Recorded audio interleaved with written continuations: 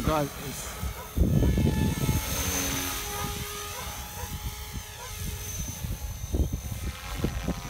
a bit hard to sit on your mobile, man. Especially moving around.